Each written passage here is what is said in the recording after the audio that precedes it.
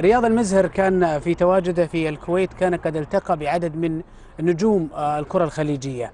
تحدثوا عن مباراة الاتحاد والأهلي وقدموا توقعاتهم لهذه المباراة ونظرتهم وهم نجوم أكيد كانت لهم نظرة مختلفة.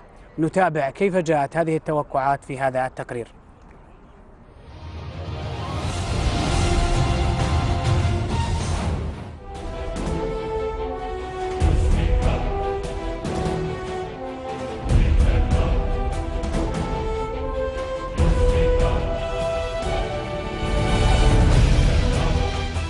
البداية إحنا الحمد لله رب العالمين. إحنا كسبنا شرف كبير وسعداء انه النهائي راح يكون فيه طرف سعودي أكيد. لكن اللي نتمناه إن شاء الله إنه يتوج هذا الفريق المتأهل إن شاء الله بفوزه في النهائي. بالنسبة لمن يكسب والله أتوقع صعب. يعني فريقين كبار وفريقين آه، المرحلة هذه بالذات المباراة ما تقدر تتوقعها المباريات اللي زي كذا دور الأربعة. صعب التوقع خصوصا ديربي آه، فريق وفي نفس المنطقة في نفس المدينة. فمن الصعب يعني هذه في النهاية المباريات اللي زي كذا ما يقدر ما تقدر تحدد نتيجتها إلا خلال أجواء المباراة لأنه اللعيبة هم اللي راح يكون عندهم الفيصل. يعني. صفرة ولا خضرة؟ والله عاد يعتمد على على على المباراة. والله شوف اليوم أنا كنت مع محمد نور ومع زميلنا حسين عبد القادر وأهلاوي ومحمد نور كابتن الاتحاد. قلت له الاتحاد فايز 2-0 والعلم عند الله. آه، أعتقد المباراة راح تكون جدا صعبة بحكم أنها ديربي ولها خصوصية عند آه، أهل المملكة وأهل جدة بشكل خاص. أنا من من أشد ومن أقدم المتابعين لهذا الديربي. وراح أكون أول الحاضرين في الديربي القادم وتوقعي توقع أن المباراة راح تبقى لتفكير في مباراة ذهاب وإياب وأنت وأنت عارف شنو الحسابات وكذا. المباراة أعتقد أنها هي مباراة من شوطين. آه، اللي بيكسب الشوط الأول أعتقد هو اللي بيخلص المباراة لأن هذه آه، المباريات دائما تحط اللاعبين تحت ضغط والأخطاء. أعتقد أنها ما تتحمل أخطاء.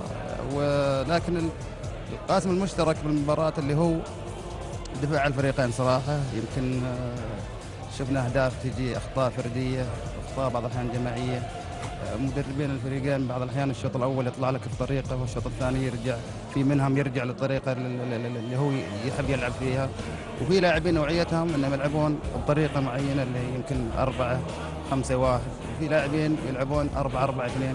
أعتقد خطوط الفريقين اللي هي الدفاعية أعتقد أنها هي اللي بتنهي المباراة صراحة إحنا نبغى الأصلح للكرة السعودية والكعبه عالي في هذه البطولة مثلا. لو الأهلي مؤهل إنه يكسب الاتحاد وراح يشرف في النهاية نتمنى إن الأهلي يكسب. اذا الاتحاد يعني بما إنه يعني آه، ساحب خبرة في هذه البطولة وعنده روح يعني عنده محمد نور يعني كابتن كبير وأعتبره أنا أفضل لاعب سعودي حاليا. فأتمنى انه الاتحاد برضه يكسب يعني إذا أنه بيشرفنا في هذه المباراة. ولكن إحنا كجمهور سعودي يجب أننا يعني مع الفريقين اللي بيقدم كورة أحسن يجب أنه كلنا نكون معاه واقفين. أنا أرشح واحد فيهم. أتمنى انه الفريق الأفضل والفريق اللي إن شاء الله بيتمكن أنه يفوز بالمباراه النهائيه اتمنى أتمنى أنه يتأهل للمباراة النهائية. بالنسبة لي هم عينين في رأس ال- الاتحاد الأهلي يعني دربي جميل بيكون. أتمنى بإذن الله أنها تكون مباراة جميلة فنيا وأيضا جماهيريا. بالنهاية كرة قدم بالنهاية هي آه، رياضة ترفيه آه، ودنا ندخل ال- ال- الم- المباراتين آه، ونتمتع فيها بدون أي أحداث لا لا تمت الرياضة بصله وثقتنا إن شاء الله فيهم كلهم كبيرة سواء من الناحية الفنية اللاعبين أو حتى الجماهير. عندي إحساس كبير إن شاء الله إنه اللي بيفوز فيهم بالمباراتين إن شاء الله بإذن الله بيفوز بكأس آسيا إن شاء الله. أنا أتوقع طبعا المباراة راح تكون صعبة لكن آه، أتوقع إن خبرة الاتحاد آه، أقوى في هالبطولات هذه. واحتمال يعني كبير انه راح يحسمونها من الأيام من الذهاب. يعني من على أرض الاتحاد راح تحسم المباراة. لا لا ما ماني في صف أحد. بس أنا أقرأ ال- ال- الوضع الراهن الوضع الراهن إنه النتيجة قوية جدا للاتحاد. ممكن تصل في المباراه الأولى إلى 3 1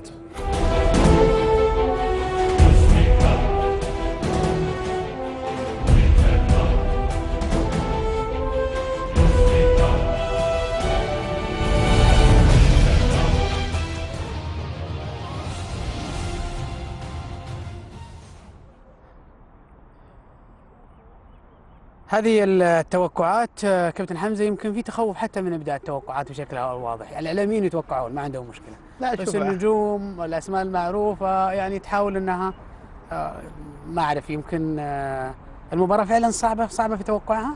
لا هي صعبة في توقعها حقيقة. صعب إنك تتوقع لأنه الفريقين مؤهلين. يعني ان كسب الاتحاد ما هو غريب وان كسب الأهلي ما هو شيء مستغرب. وعادة اللاعب آه، بيحاول إنه ما يبي يخسر الجماهير الناديين. يعني لو جاء قال الاتحاد أو الأهلي حيكون في ردة فعل عكسية.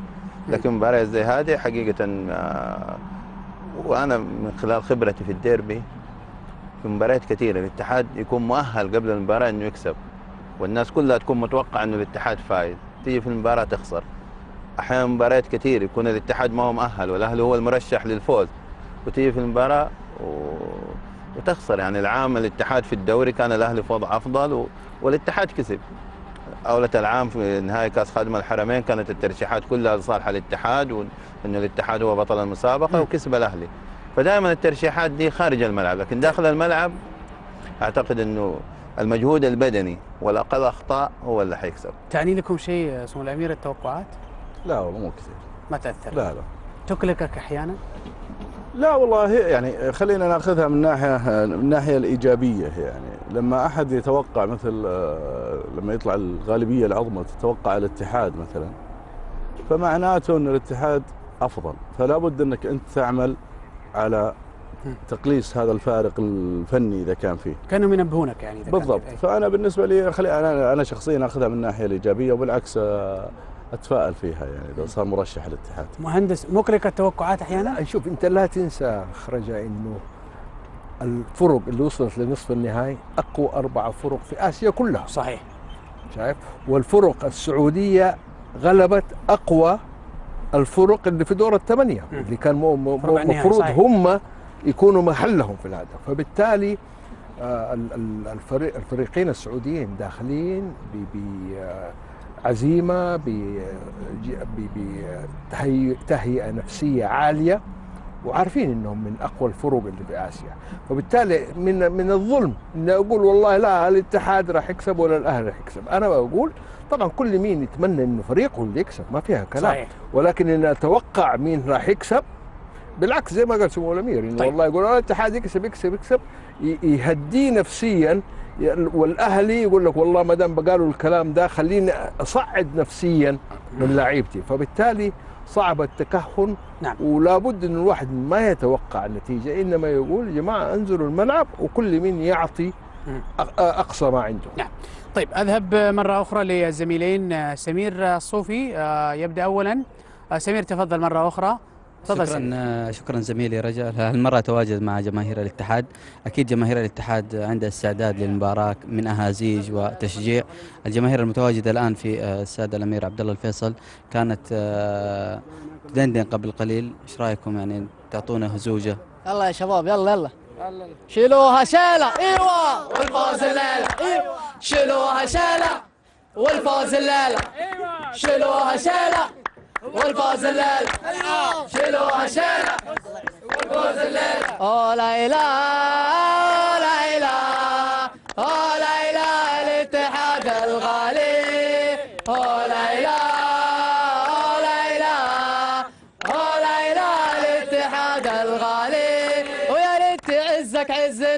اتحاد ويا أحلى اسم في قلوبنا. اتحاد العب يا الأصفر وانتصر اتحاد والليله جمهورك حضر. اتحاد اتحاد اتحاد اتحاد.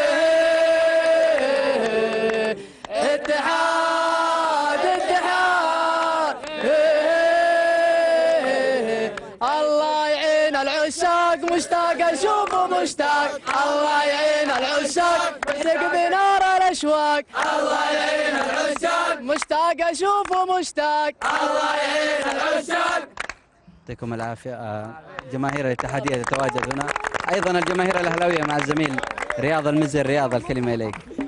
يعطيك العافية سمير ويعطي جمهور الاتحاد أيضا العافية. آه، من قلب ال- ال- الجمهور الأهلاوي ومن جنب الحبيب بدر التركستاني ومن ومن جنب أحد زملائي في الدراسة على فكرة مرعي الشهري يعطيك العافية. حمزة. يعطيك العافية. وسعود البرقاوي نبغى نسمع بدر. نبغى ما نبغى نسمع نبغى نطرب معاكم. يلا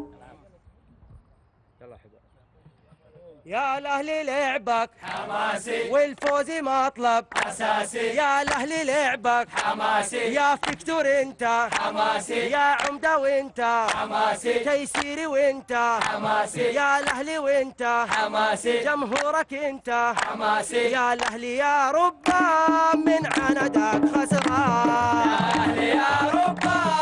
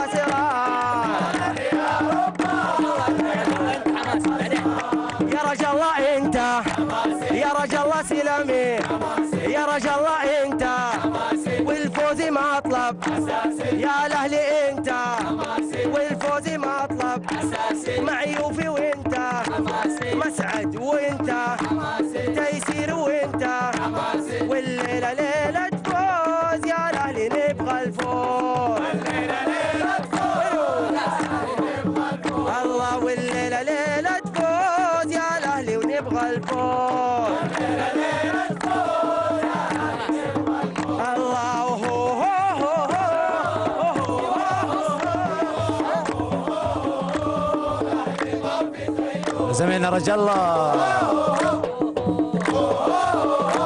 زميلنا رجا الله. انت أساسي وحماسي اليوم من أرض الملعب. تفضل. شكرا جزيلا. شكرا رياض. بس إذا تديهم خلاص يا رياض عشان بس الصوت يكون أكثر وضوحا. شكرا للجماهير في الجانبين. شكرا لرياض المزهر لسمير الصوفي. آه، مرة أخرى. نشكرهم آه، الجمهور ونعود انفعلوا. مرة أخرى انفعلوا. تفاعلوا زيادة ها؟ إيه. طيب. حماسهم زايد يا مهندس؟ والله. من حقهم. الجانبين نعم. هذا من حقهم. جمهور الاتحاد جمهور الأهلي؟ من حقهم. هذا الله الحماس يعطيهم العافية. صحيح. هذا الحماس آه، كابتن حمزة يعني كثير للاعب في الملعب. أكيد طبعا. بس شوف، أحيانا يتحول إلى ضغط على اللاعب ولا لا؟ هو غالبا ترى مش أحيانا. يعني دايماً؟ غالبا انت تشوف الفرق دائما على ارضها بتخسر. لأنه الجماهير خاصة إذا كان الفريق ما هو في وضع فني قوي.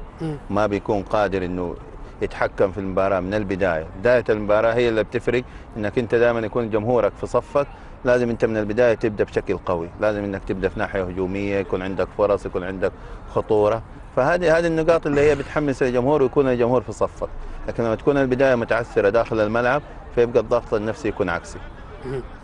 آه، سمو الأمير آه، نتكلم في, نفس هذا هذا السياق يعني. أكيد إن كل الأوراق بالنسبة لكم واضحة في ال- في الجانب الاتحادي. بس أكيد لازم في شيء يشغلك يشغل بالك يقلقك تخاف إنه يحدث لفريقك وبالتالي تجد نفسك في مأزق صعب. يعني إن كانت كثرة بطاقات إن كانت أخطاء في البداية هدف مبكر آه، انخفاض لمستوى لاعب معين غياب لاعب معين لا هي العوامل أنا قلت لك المباراة يعني مهما حللنا ومهما تطرقنا لها فنيا يعني. إلا إنها ما تبدأ فعليا إلا مع صافرة الحكم وأحداث المباراة الفعلية هناك. اللي تخاف منه عادة إنه عدم توفيق المجموعة آه، طرد اللاعب آه، تسجيل هدف نعم. مبكر لكن هذه لابد إنك تكون حاط لها يعني في احتياطاتك آه، ومجهز الفريق لأي شيء ممكن يحدث أثناء 90 دقيقة. مم. إذا الفريق ما هو جاهز إنه يرجع لجو المباراة فمعناته أنت خسرت المباراة تماما يعني مم. لكن ساعات ممكن تستقبل هدف بدري ويكون هناك ثقة من اللاعبين إنهم قادرين على العودة لل- للم- للمباراة الثانية مثل ما حدث نادي الاتحاد في مباراتهم في جوانزو. كانوا خسرانين 2-0 كان الضغط كله على نادي الاتحاد لكن تماسكوا فريق آه، نادي الاتحاد إلى أن سجلوا هدف وكسبوا المباراة بنتيجة المباراتين. آه، فهذه كلها عوامل أنت ممكن تتعرض لها يعني داخل الملعب لكن هنا يعني الإعداد النفسي والتهيئه النفسية يكون لها أيضا نسبة عالية من التحضير صحيح. لا نرمي كله على جانب فني الكابتن حمزة قالها في بداية ال- البرنامج إن التهيئة النفسية مهمة عدم الاستعجال أيضا مهم. فاللي تخاف منه يعني آه، هذه الأحداث اللي ممكن تقلقك في المباراة لكن بإذن الله إذا كان الفريق معد أعداد جيد فما عنده مشكلة بإذن الله. من إيش تخشى مهندس على فريقك؟ والله أخشى على فريقي إنه ينزل تحت ضغط كبير إنه ضروري يكسب المباراة الأولى وكذا لأنه على أرضه. فبالتالي لابد إنه ينتبه ينتبه ما يقع في أخطاء خصوصا إنه لدينا كم كرت يعني في أربع كروت عندنا. لو أخذوا الكرت الثاني ك كلعيبه ممكن يحرموا من م- مباراة الإياب. فهذه مهمة إنه لعيبتنا ينتبهوا للموضوع ده إنه آه، في في شوط ثاني. نعم. ما هو الشوط الوحيد. فإذا كان آه، لا سمح الله ما حالفهم الحظ ولا شيء مو معناه إنه يبدأ بمخاشنة أو شيء زي كده أو لعب رجولي يجلب لنفسه كرت ثاني ديك الساعة خسر نفسه في الشوط الثاني واللي هو 90 دقيقة أخرى. فبالتالي يعني أنا بس أعتقد إنه المدرب عندنا روحه ال- ال- النفسية أو المعنويه كيف يحفز اللعيبة يعني عنده الثقة الكاملة. نعم. يعني الآن معاهم حوالي هو مدرب خبير. حقيقة. يعني وقارئ. للمباريات بصراحة. و... وتلاقيه تقول لك والله الشوط الأول ما كان كذا والشوط الثاني تلاقي غير المباراة ودخل بطريقة مختلفة تماما ويقلب النتيجة. بسألك عن أصعب مرحلة مرت عليكم مهندس ولكني قبلها وأسأل أيضا الأمير فهد بن خالد في هذا المشوار الطويل في آسيا.